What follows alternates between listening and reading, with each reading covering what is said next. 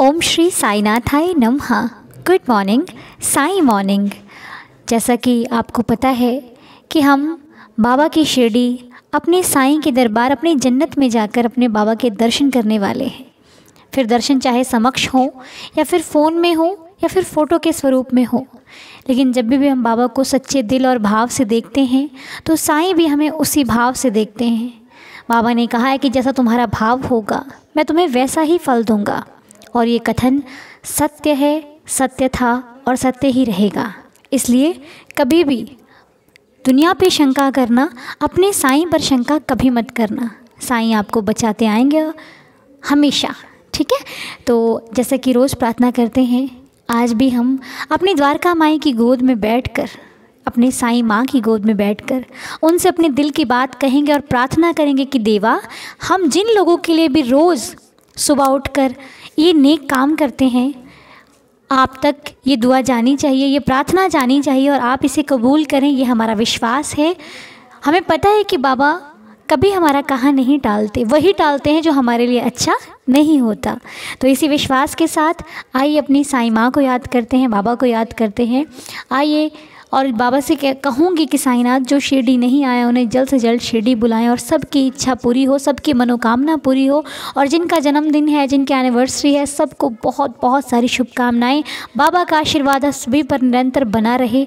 आप सभी खुश रहें हैप्पी रहें हेल्दी रहें। और आज की प्रार्थना में जिन लोगों के नाम हैं, करणवीर हांडा जी, पूर्णिमा धामी जी, सत्य देवी ji, Ramlal ji, Lakshya ji Srishti ji Indrani ji, Amita Puranik ji, Rasim Kaur ji, Prema Verma ji with family Soni Kumari ji and all families हे देवा हे सचिदानंद साईनाथ महाराज, बाबा सबकी रक्षा करना, सब पर रहम करना, श्रद्धा की लाज रखना, जिसको भी चिंता हो, जिसको भी परेशानी हो, कोई बीमारी हो या फिर कोई भी कष्ट हो, बाबा उसके कष्टों को ख़त्म करना और आप लोग भी उदी ज़रूर लगाएँ उदी का टीका लगाकर घर से निकलें उदी को खाकर घर से निकलें। ये सोचिए कि आपकी दवाई है जिसे आपको लिए बिना आप नहीं चल सकते और अगर आपने उदी नहीं खाई तो आपको कोई ना कोई प्रॉब्लम आ सकती है।